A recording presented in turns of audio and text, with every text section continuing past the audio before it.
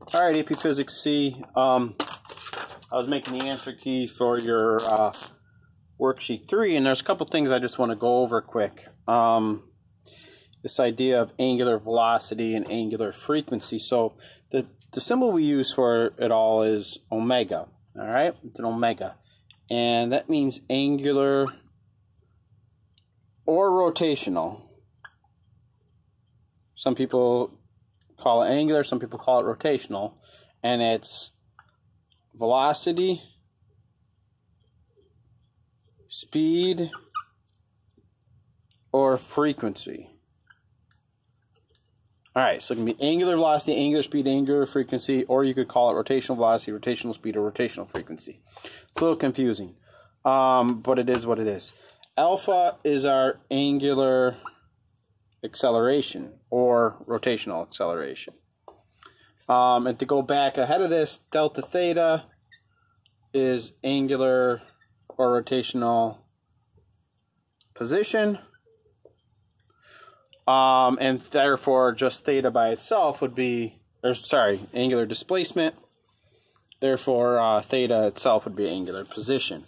Now, angular position is the angle that something has turned through. So if you have a mass on a string, right?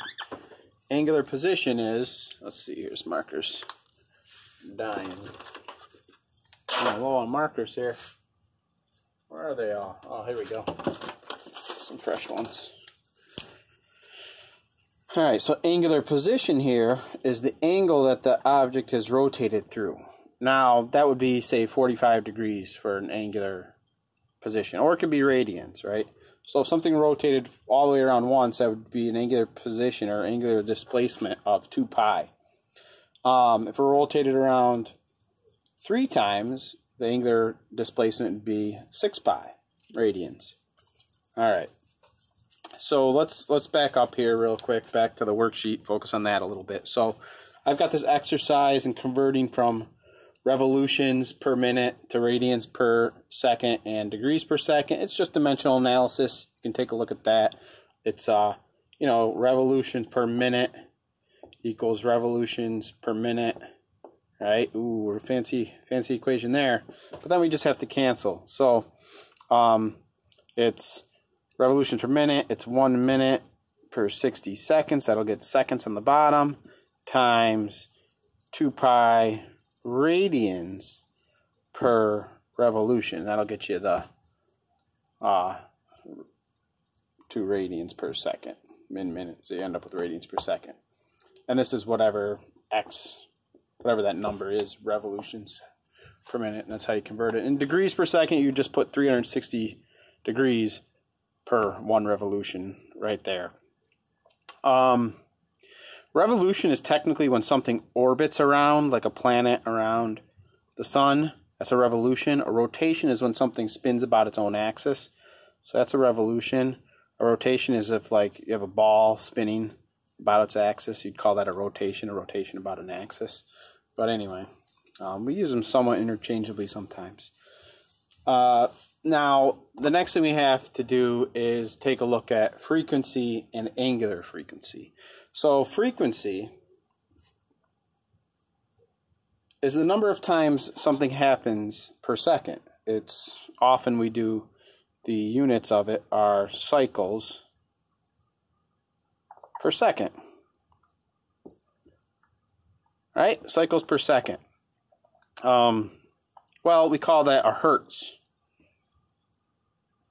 I can hear one of my former students saying, Hertz, don't it? Uh, the joke he had. Uh, cycles, this is interesting. This is and a hertz is technically 1 over seconds, or seconds to the minus 1. Now, what happened to the cycles here? Why, why aren't those in there? Well, cycles is like, it's just a number. It's a count of something happening per second. So really the cycles we write it in there sometimes, but really if you have like 60 hertz is the frequency of something. That means whatever it is, it's doing whatever that is 60 times per second. So it could be a TV refreshing itself 60 times every second, the, the image on the screen. It could be a light bulb flickering on and off at 60 times per second. The cycles, it's just a placeholder. Um, think of it like dozen, right? Dozen is not a unit, it's just a count of things, right? I have a dozen donuts. Well, the unit is a donut, and dozen is just a count. So it's a it's it's not a unit cycles. It's just uh so it's just a something about the system. So frequency F is hertz, 1 over second. Frequency, angular frequency is omega, and that's the number of radians per second. All right, so how are these related? Well, there are 2 pi radians per cycle, right? So if I want to convert from frequency to omega, omega is equal to 2 pi times f. So think about what this means. So if it's cycles per second here in frequency, right? So let's say it's one rotation per second. That would be cycles per second. That would be hertz. One rotation per second. I could replace cycles with rotation. So one rotation per second, right?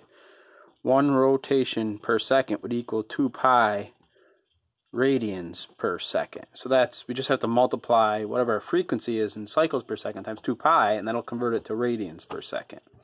Um, that's important for the second part of that question, right? So angular frequency or angular velocity is always equal to 2 pi times the frequency of either rotations or oscillations or whatever. Sometimes when we have a pendulum going back and forth, we actually report it as angular frequency and we represent the motion of the oscillating object as a sine wave, right? So that kind of makes sense, right? Because we, we know when we get out to here, we've been back, we've gone pi through the sine wave, and then we go this way, we've gone another pi through the sine wave. A full cycle is 2 pi, right?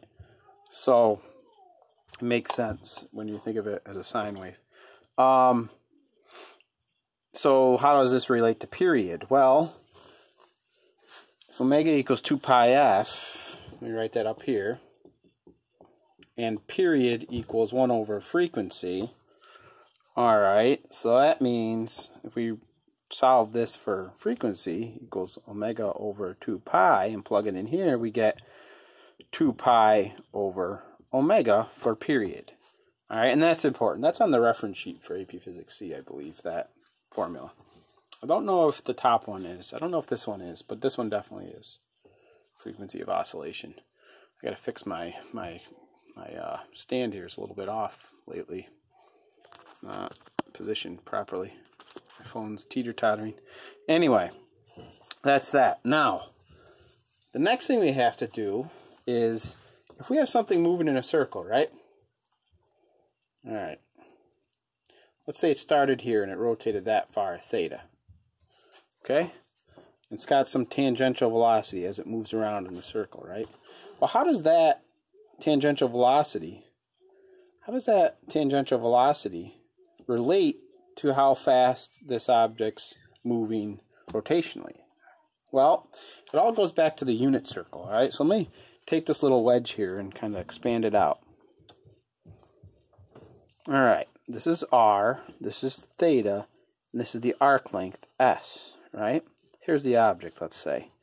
So the distance it travels and the time would be its velocity, right? This the I'm looking at like an instant of the wedge here.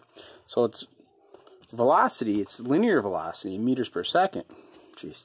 It's linear velocity, or we call it tangential velocity, is equal to s, delta s, the arc, the change in position here, divided by t, distance over time.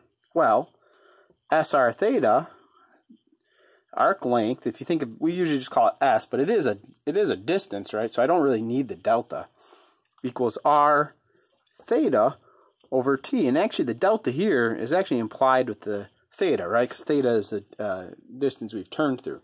Well, what we get here is the tangential velocity equals R theta over T. Well, delta theta over t, that's angular velocity. So r omega. This right here, maybe I should do it in a different ink. This is omega. It's your rate of change of your angle over what's the rate of change of your angle. So r omega. So that's how tangential velocity is related to the angular frequency. So if it's, you know, it's a circle, let's say it's one meter and its angular velocity is 10 radians per second, then the tangential velocity is 1 meter times 10 radians per second. So tangential velocity is 1 meter radian per second. What the heck? What, what, what, what's the deal there? Well, we drop the radian when we do this calculation. Um, and I don't have a great you know, philosophical way other than again that radian is just a placeholder. It doesn't even need to be be really there, right? It's kind of like when we have frequencies just 1 over seconds. We keep track of frequency, okay, cycles per seconds, how many times fully around. Well, when we deal with angular frequency or angular velocity, that radians, it could also just be 1 over seconds, but that's not a hertz because there is radians there, but radians aren't actually a unit, believe it or not. Radians are dimensionless. Kind of like degrees are not really a unit. It's a it's a count. It's like a ratio, right? It's um it's not really there. So when we do this calculation, we actually drop the radians out of it and we just write it as meters per second. Radians are not a unit.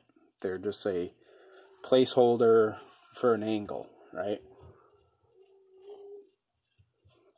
It's a ratio of, if you solve the unit circle, right, theta is defined as uh, s equals r theta, so theta equals s over r. The, the units would cancel. It's dimensionless, technically. All right.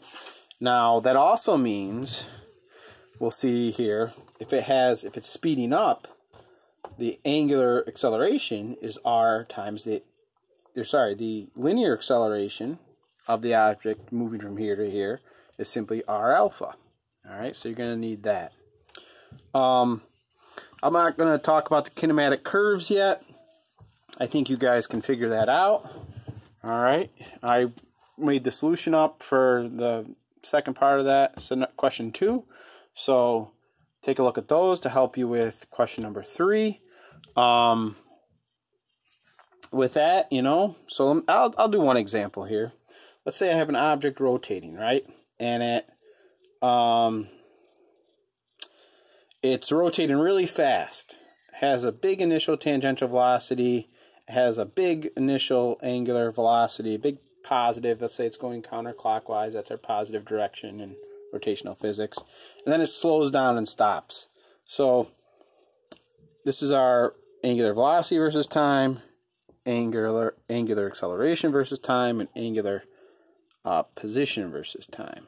All right, so it's moving really fast. All right, and when we start the time, we also hit a, hit some brakes and it slows down and stops. So it's moving fast, so it has a big initial angular velocity and it slows down and stops. So let's just make it linear. All right, so it's slowing down and stopping. So that's a you know negative slope here, so it's a constant negative acceleration. All right, so it starts off moving fast, so it's got to have a steep slope on angular position versus time. And by the end, it has to have no slope, so it's actually going to level off by the end of the time. So we use the same logic as we used for the other kinematic curves, but it's rotational, right? Speeding up, slowing down, which is really useful. This is cars, tires on a car, um, tires on a bike, anything rotating, starting and stopping, which is quite a lot of things in life, believe it or not, right? Gyroscopes, you know, flywheels and your engine, all different kinds of things. And we're going to learn later on in the course that the force that does this is called the torque. That force that drives rotation, slows down rotation. The force that provides the angular acceleration we're going to learn later on is a torque. Um, but yeah, we're going to work through those, see what you can do with those. Um, good luck to you, all right? Let me know if you have any questions.